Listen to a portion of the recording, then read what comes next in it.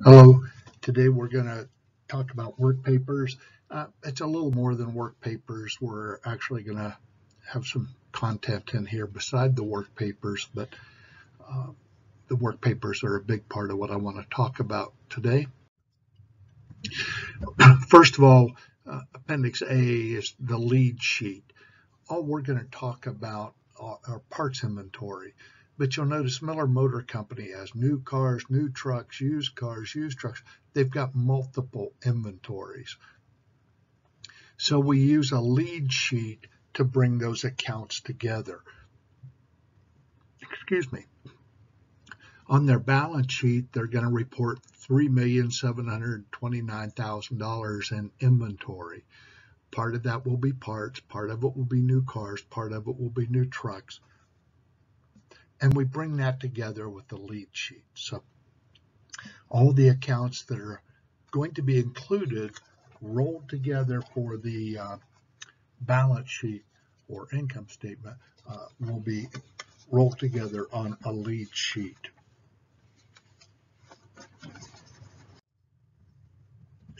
Now, notice the top part of the work papers, work paper one, work paper two, is exactly the same so we've got Miller Motor Company, uh, inventory, parts inventory. So who we're auditing, what account we're auditing, what sub account we're auditing, who did the work, and the date they did it. Uh, the nature of the test, substantive test of details with account balances, that will be the same for all of our parts inventory work papers.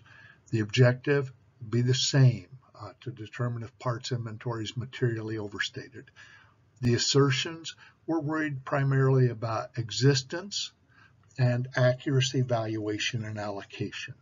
So those are the two assertions we're most concerned about. Uh, it, tolerable misstatement has been set at 200,000 by the parts partner. Uh, procedure we selected a sample, random sample of 387, blah, blah, blah.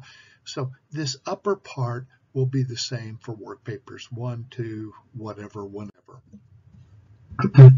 then we go through the procedure in detail. Now, we do this for two reasons. One is to document what we did in chapter five, where we're going to get sued and go to court. Uh, so we want to have this well documented in the work papers. Uh, chances are good you're going to be gone by the time the accounting firm gets sued, if they get sued. So this has to be well documented. I don't think we do a good job of stressing documentation in our auditing classes. The second purpose of this work paper is that the staff auditor next year uh, can follow what you did. Uh, my favorite auditor used to say you can't audit without last year's work papers because most of the time what you do is you look at what they did last year and you do it again this year. The sample size may vary, may increase, decrease.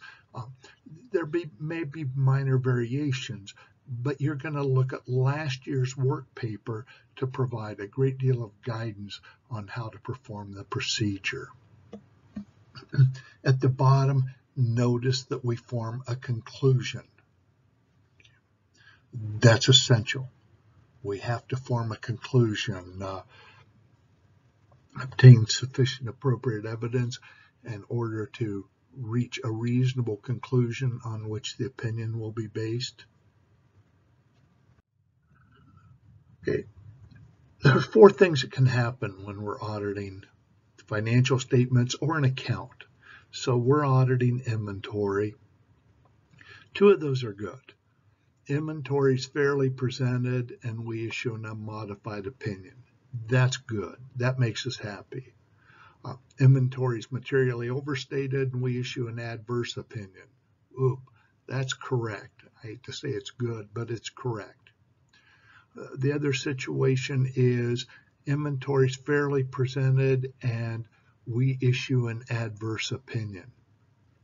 That's a problem, but it's never going to happen.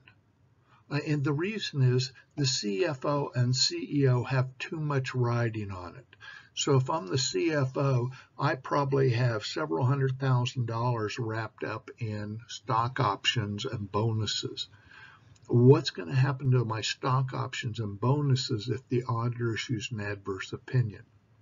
So in my heart of hearts, I know inventory is fairly presented. So I'm going to, even if the auditor says, if you want me to re-audit inventory, I'm going to charge you an extra $50,000 or whatever. I'm going to agree to it. I may be mad.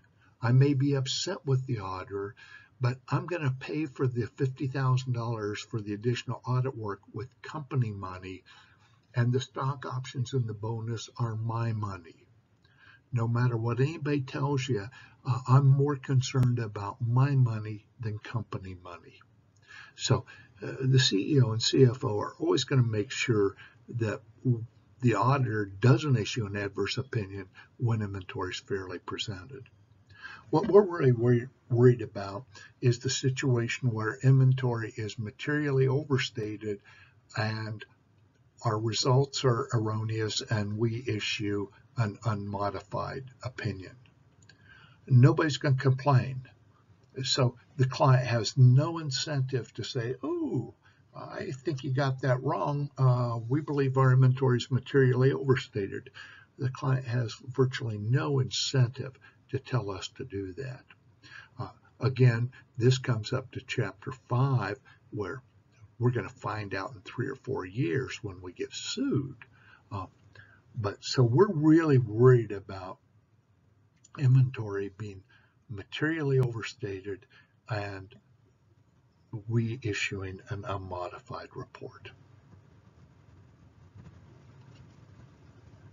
Bingo. That's what we're worried about.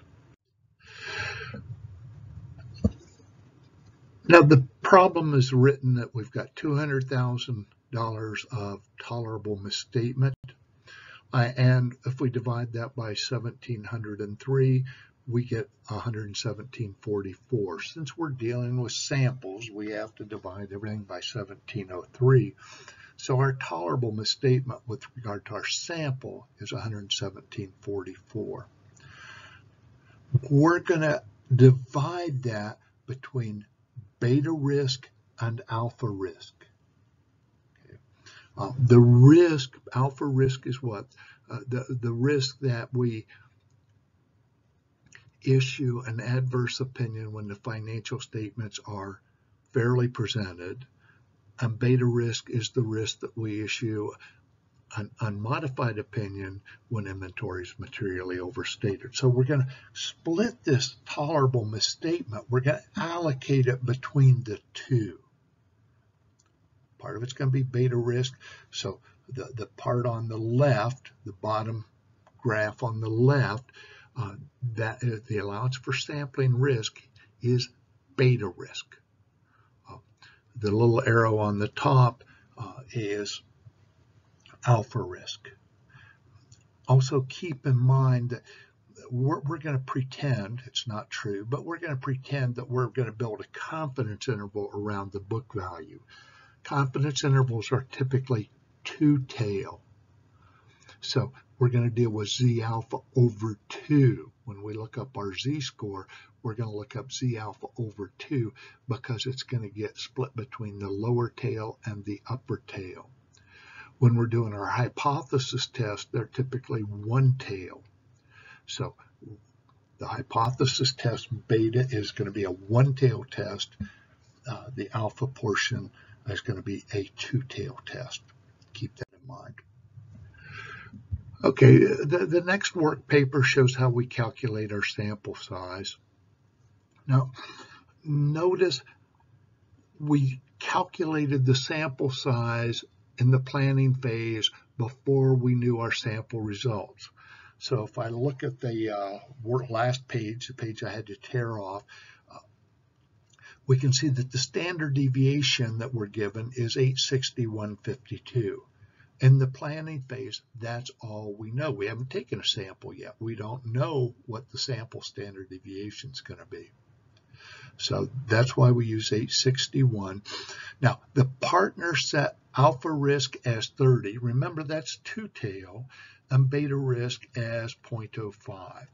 So beta is going to be 1.64 z-score of 1.645 and alpha is going to be a z-score of 1.06 because alpha risk is 30%, but it's two tail.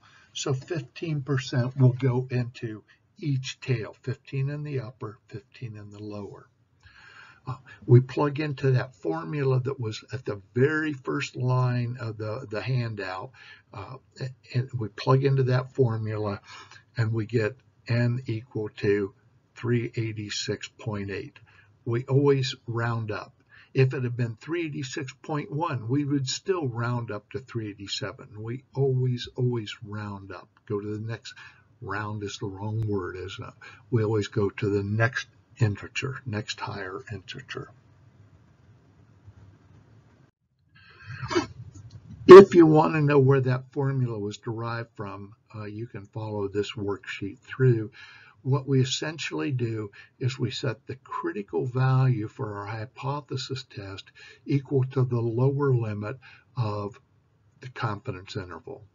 And, and when we do that, the, the critical value is what we're trying to prove, the hypothetical mean plus z beta times standard error.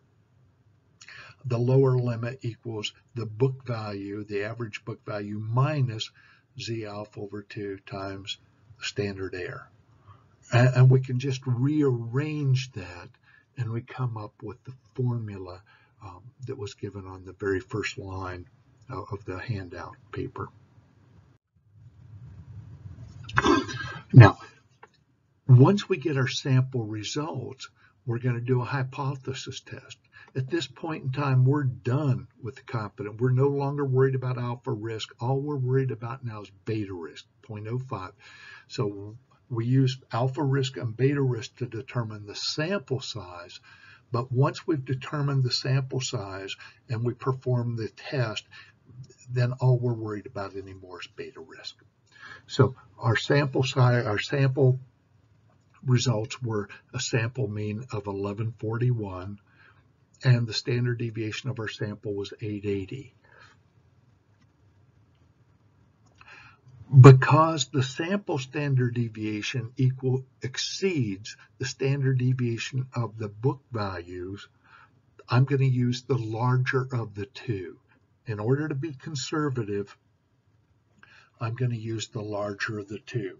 So I calculate my critical value, what I'm trying to prove, the 1036 plus z beta for 0.05% times the standard error divided by the square square root of n. And when I calculate that, I get a critical value of 1,110.33. Since my sample mean exceeds the critical value, uh, I'm comfortable. The risk of me reaching a wrong conclusion is 0, less than 0.05, right?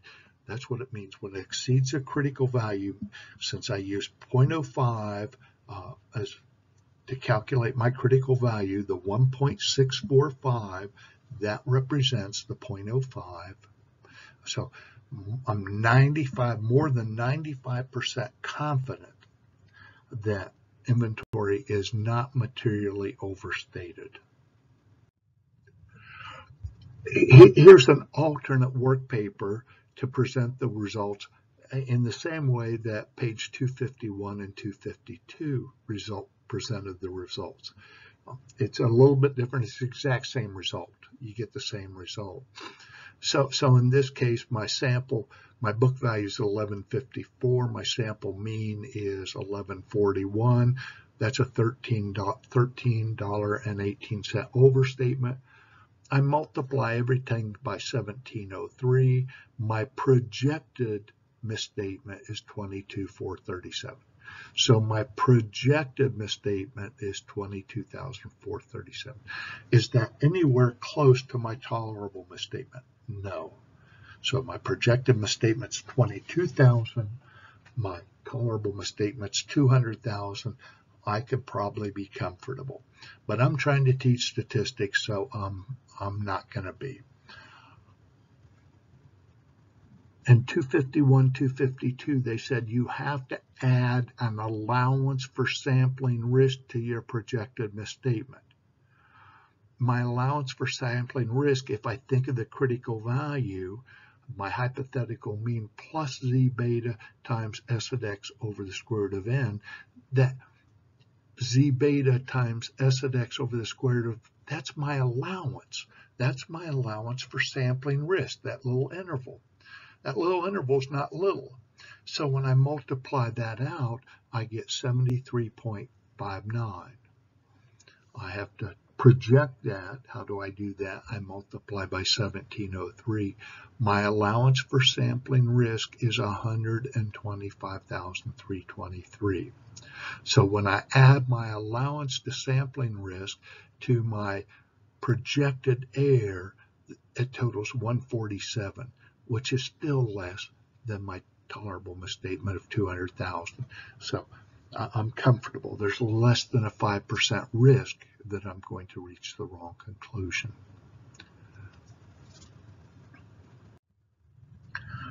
That wraps up statistical sampling. Uh, make sure you study the handout. Get with me if you have any questions. Uh, I hope you're having a great quarter.